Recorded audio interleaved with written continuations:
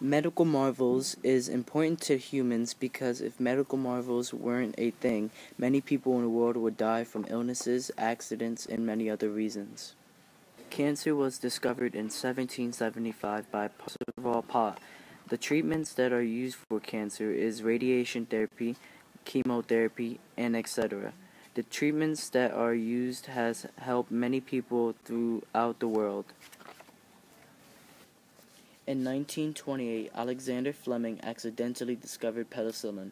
Penicillin is a liquid in a pill that is used to fight bacteria in your body, and it can treat infections like ear infections and many others.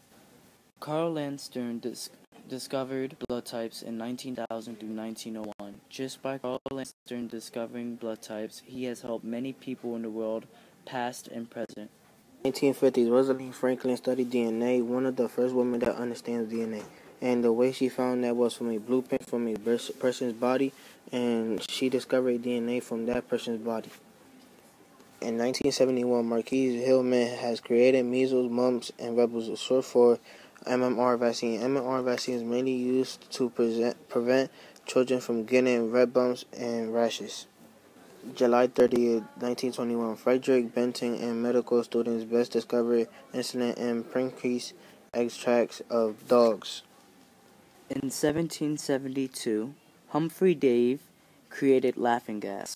Laughing gas today is used for dentists and surgery.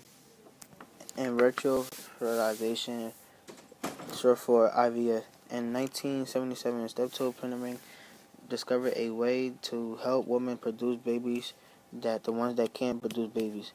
And the way he discovered a way to put that was to ask a grown male if he can donate sperm, and that way he can put the sperm inside the woman's egg.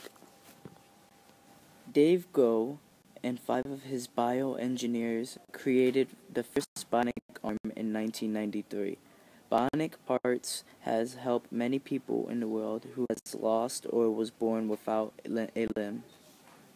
In 1800, a man named Carl Koller has created a bottle liquid named anesthetic.